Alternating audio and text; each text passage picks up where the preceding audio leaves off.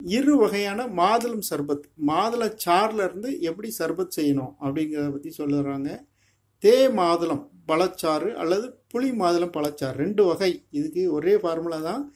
ரெண்டு வகைகளையும் நம்ம செஞ்சிடலாம். தே மாதுளை இனிப்பு மாதுளையும் எடுத்துக்கிடலாம். அல்லது புளிப்பு மாதுளையும் எடுத்துக்கலாம் சாறுகளை சமய எடையாக ரெண்டு மிக்ஸ் பண்ணி எடுக்க சொல்கிறாங்க தனித்தனியாக எடுக்கலாம். அப்போ இது வந்து கிட்டத்தட்ட ஒரு மூணு சர்பத்துகள் செஞ்சுக்கிடலாம். இனிப்பு மாதிரிலையும் செய்யலாம் புளிப்பு மாதிரிலையும் செஞ்சுக்கிடலாம். ரெண்டையும் கலந்து செஞ்சுக்கிடலாம். ஏன்னா சாறுகளை சம எடையாக எடுத்து இரண்டு ரசங்களை ஒரு மண் பாண்டத்தில் கால் பங்கு சர்க்கரையிலாவது கற்கண்டு கற்கண்டு இவைகளை பொடி செய்து அந்த ரசத்தில் போட்டு பாகு எடுத்து பக்குவப்படுத்தி சூடு தணிந்த பின் புட்டியில் அடைத்து வைத்துக்கொண்டு மேற்சொல்லியபடி உபயோகப்படுத்துவோம். பித்த சாந்திக்கு மிக சிறந்தது அப்படின்னு பதிவு பண்ணியிருக்காங்க.